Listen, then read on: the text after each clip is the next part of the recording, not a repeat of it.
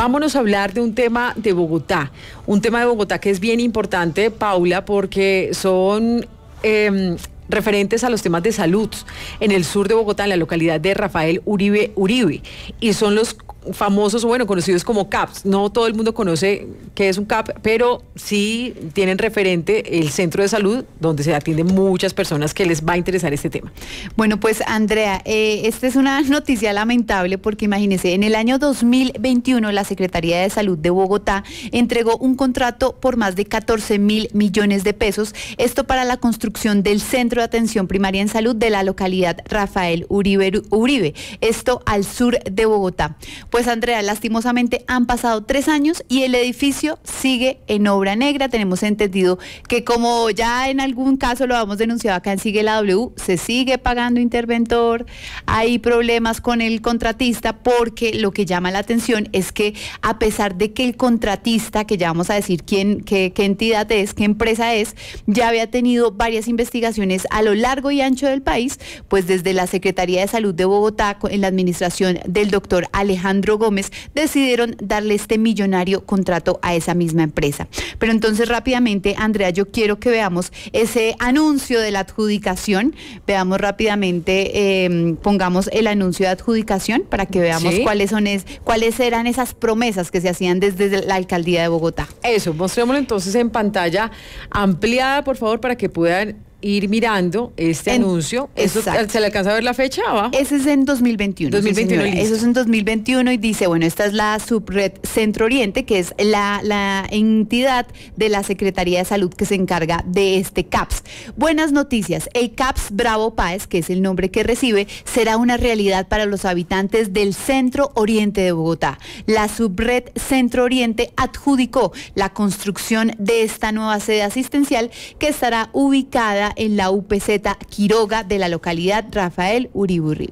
Y allí, Andrea, ponen un hilo en donde empiezan a decir tenemos no sé cuántos laboratorios, eh, podemos, podríamos atender a tantos pacientes. El hecho es que de esas, todas esas promesas hoy no, no hay absolutamente nada. Mm. Veamos rápidamente cuál era esa promesa, cómo eh, desde la alcaldía de Bogotá se, se visualizaron cómo quedaría ese centro de atención primaria. Veamos hacer como ya lo habíamos acordado, con todos los mejores equipos y con todas las especialidades que ya habíamos acordado. Es decir, no le vamos a quitar nada al proyecto que íbamos a hacer. El proyecto se va a hacer. Se va a hacer con las mismas calidades que ya habíamos acordado, los mismos equipos y los mismos servicios. El presupuesto que tenemos asignado, yo lo que decía es que conseguir un presupuesto es un problema nuestro. Yo me comprometo a que esa obra tendrá 25 mil millones. Eso es lo único. Eso es. Tenemos que sacarlo de varias fuentes, en fin, pero eso es nuestro trabajo. Eso. es Con esos 25 mil millones de pesos y con la valoración que ya se hizo de las obras que nos dejaron a medio hacer, pero que las dejaron esas obras se pueden usar. Entonces, con eso que ya nos dejaron, más los 25 mil millones de pesos, volvemos a diseñar una nueva licitación para que nos quede el centro de salud como lo habíamos acordado así. ¿Cuándo estimamos que se podría iniciar esa licitación? Bueno, pues Andrea, ahí veíamos eh, a la exalcaldesa de Bogotá, Claudia López. Esto justamente es en la localidad Rafael Uribe Uribe y este video es del año 2023, donde... Ah, 2023. Aquí el periodo es importante porque Claudia López llega en enero de 2020, ¿no? Y ella estuvo hasta diciembre de 2023 quiere decir que sí le corresponde totalmente a ella. Sí, señora, le corresponde a ella darnos respuesta y también al secretario de Salud, eh, Alejandro Gómez, que es el, la persona que autoriza de donde se sacan los recursos de la Secretaría de Salud de Bogotá, 14 mil millones de pesos para atender a más de 130 mil bogotanos. Ese era el video en donde la, alcaldesa dice, vamos a sacar adelante este proyecto, eh, reconozco que han existido varias, varios problemas para poder, para poder ejecutarlo, sin embargo, ella ahí se compromete a que este proyecto va a salir adelante. Y ah, de nuevo quiero que veamos cuál era esa promesa, ese render eh, de lo que se visualizó como el centro de, atención primaria. Mire, Andrea, esta era la, esta era la bella propuesta. Ay, siempre en render queda fabuloso, ¿no? En render queda muy, muy bonito, pero quiero que eh, saludemos ya a nuestro invitado. Quiero que los oyentes que hasta ahora nos escuchan y nos ven, eh, pues analicen ustedes mismos, juzguen ustedes mismos la realidad de lo que se prometió y de, y de lo que existe hoy. Por eso quiero que saludemos a el edil Andrés Yate. Edil, gracias por estar en Sigue la W. Y bueno, justamente usted se encuentra allí en, en, en el lugar de esta denuncia. Muy buenas tardes a todas las personas que nos ven por la W Radio.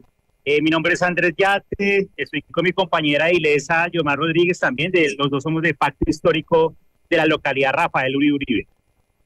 Bueno, eh, Primero, por favor, eh, Edil, ya, ya saludamos eh, a la, al habitante, que es muy importante saber pues cuáles son las necesidades que tiene la comunidad específicamente en esta zona.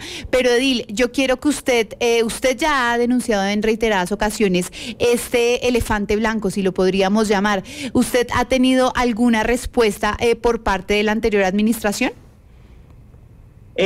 han sido respuestas, pero sin respuesta la verdad. Pero permítame primero mostrarles un poco cómo está en este momento el estado de la obra. Aquí se ve eh, la obra como tal. Eh, y ahí, si ustedes alcanzan a ver, hay una parte que está inundada. ¿Cierto? Esa parte son los cimientos de la obra.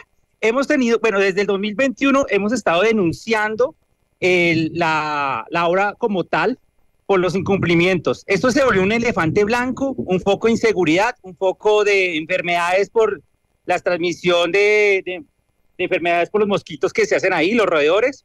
Y la respuesta ha sido eh, que sí se iba a, culminar el proyecto, que sí se iba a hacer la obra y nunca hemos tenido una otra respuesta. llegamos a ley de garantías y dijeron que después de ley de garantías se iba a adjudicar la obra, cosa que es una mentira porque para poder adjudicar la obra se necesita primero, digamos que liberar el proyecto de la, de la constructora. La constructora denunció, eh, demandó a la Secretaría de, de Salud y ahora estamos en un proceso litigioso que ahora el Tribunal de Cundinamarca tiene que dar respuesta.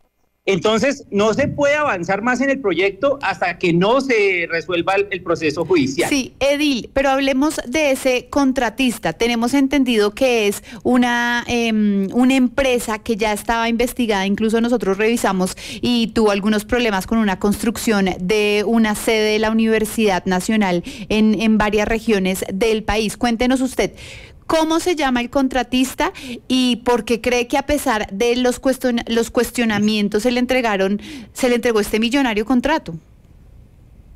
Eh, esta constructora se llama Miroal, ya traía antecedentes en, en, obras inconclusas en varios lugares del país.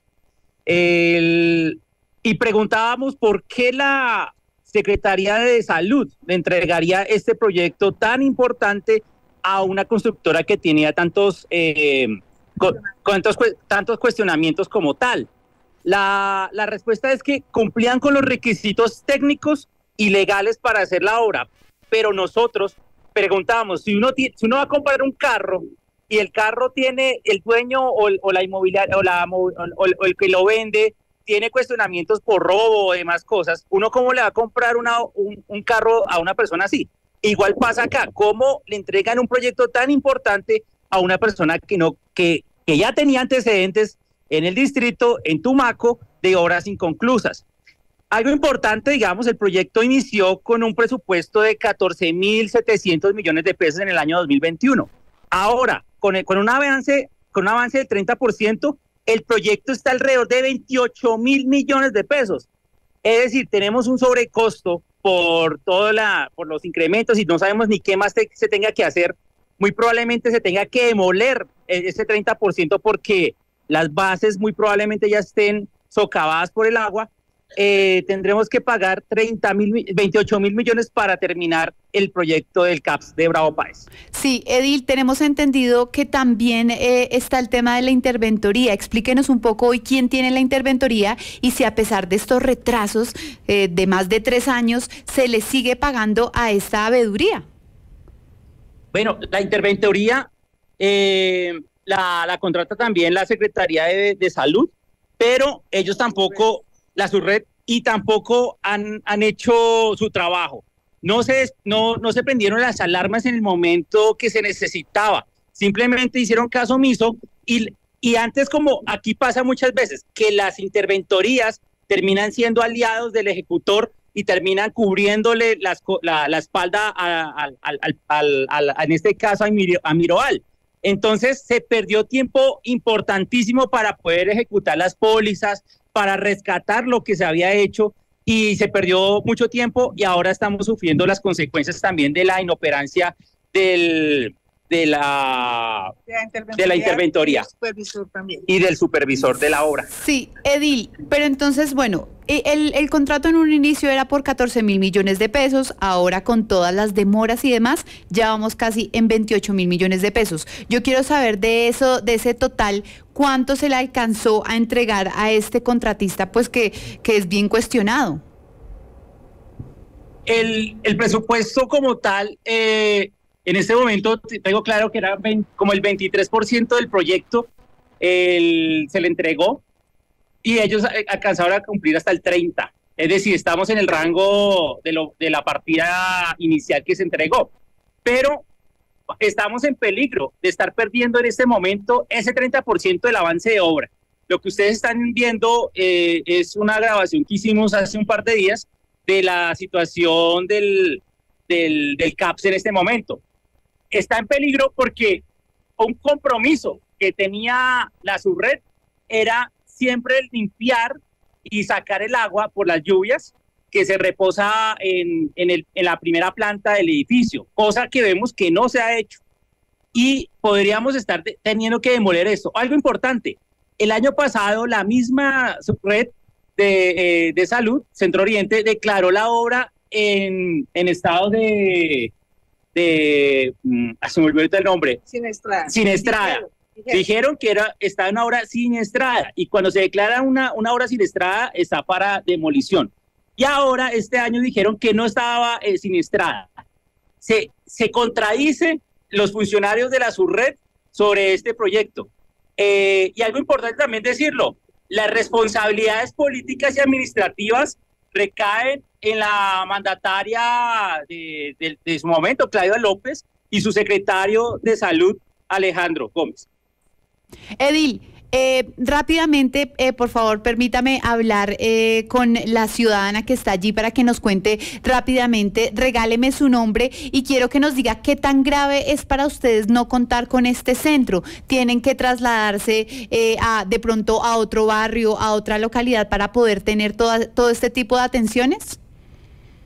Claro que sí, nosotros tenemos que ir a diferentes localidades, tenemos que y además también de que aquí teníamos, habíamos dotado en, en este centro de salud, lo habíamos dado, dotado, la alcaldía de Rafael Uribe en el 2010 lo había dotado con uno de los mejores centros de rehabilitación, se le ha comprado todo lo último que había eh, para rehabilitación y pues todo esto lo, lo sacaron, se lo llevaron y hoy en día pues para poder acceder a citas a todo nos toca eh, pues irnos a otras localidades para que nos puedan atender para también para la parte de rehabilitación, Antonio a la localidad de Antonio Naiño, a San Cristóbal, a otra, y muchas veces muy lejos.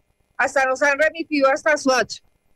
Si eres una persona en situación de discapacidad si ya voy para irse hasta Suacha, por ejemplo, a 20 minutos o media hora o máximo una hora de rehabilitación y tenerse que devolver. O sea, es Señora, muy complicado. Señora Yomar, Yomar Rodríguez, es decir que eh, anteriormente, las anteriores administraciones ya habían dejado un centro de atención primaria que funcionaba perfectamente, ¿correcto? Si es que le entiendo bien.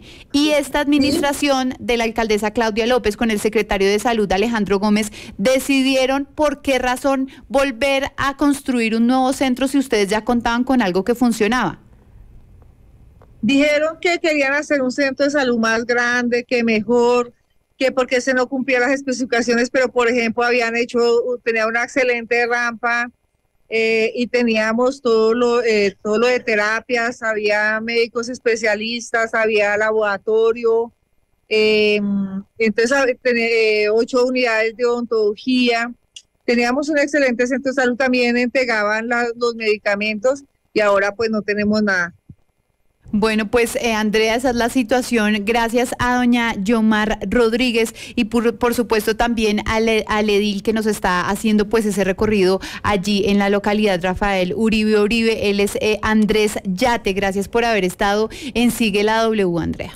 Bien, perfecto, Paula, pero es importante también conocer qué dice la administración de Claudia López. Yo quiero que mostremos nuevamente ese video, por favor, donde eh, ella está ahí. Las fechas no mienten, pero es importante también tener respuesta de parte de los funcionarios de ella, porque seguramente ella ya tendrá alguna explicación que nos parece válida, aunque aquí pues ya el edil nos hizo el recorrido por el lugar, todavía no está terminado.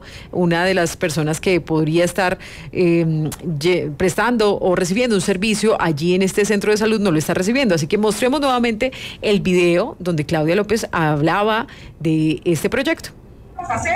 Como ya lo habíamos acordado, con todos los mejores equipos y con todas las especialidades que ya habíamos acordado. Es decir, no le vamos a quitar nada al proyecto que íbamos a hacer. El proyecto se va a hacer. Se va a hacer con las mismas calidades que ya habíamos acordado, los mismos equipos y los mismos servicios. El presupuesto que tenemos asignado, yo lo que decía es que conseguir un presupuesto es un problema nuestro. Yo me comprometo a que esa obra tendrá 25 mil millones. Eso es lo único. Eso es. Tendremos que sacarlo de varias fuentes, en fin, pero eso es nuestro trabajo. Eso. Ese es Con esos 25 mil millones de pesos y con la valoración que ya se hizo de las obras que nos dejaron a medio hacer, pero que las dejaron esas obras se pueden usar. Entonces, con eso que ya nos dejaron, más los 25 mil millones de pesos, volvemos a diseñar una nueva licitación para que nos quede el centro de salud como lo habíamos acordado hacer. ¿Cuándo estimamos que se podría... Claro, Paula, ahí ella dice, me comprometo, y sigue toda la frase, ¿no? Claro, ella, eh, importante Andrea, hacer la claridad que ella dice, pues esto ya fue un, desastre, vamos a intentar volver a hacer una nueva licitación, un nuevo proceso, y pues ahí obviamente la gente aplaude porque la gente está esperanzada, la gente de la región, de volver a tener su centro de atención en salud. Sin embargo, eh, consultamos a Andrea Alejandro Gómez, que recordemos era el exsecretario de Salud de Bogotá, y él nos dice que en ese caso en particular, también es responsabilidad de la subrep Centro Oriente, que fue la que, la, que contrató a esta, a esta empresa que estaba cuestionada, porque él dice, la Secretaría pone los recursos, pero la que contrata es la subred. Entonces, igual, pues mm. seguimos haciéndoles eh, diferentes preguntas, porque eh, usted puede entregar el, el dinero, pero también la Secretaría de Salud tenía como esa responsabilidad de haberle hecho una veeduría a los recursos que entrega y, por supuesto, al Centro de Salud de atención primaria de esta zona. Sí, pues bueno, quedamos entonces pendientes porque sí dicen que es cuestión de la subred, pero ellos de quién dependían también. Y ellos también tienen que responder porque finalmente están haciendo quedar mal a la promesa de, la alcaldesa y, las explicaciones que seguramente ella tendrá y, si en algún momento nos, las quiere hacer llegar, pues también la publicaremos, pero quién tenía responsabilidad, pues eh, entonces esto también es importante. Vamos a hacer una pequeña pausa porque ya venimos con lo que está ocurriendo en el IMPEC.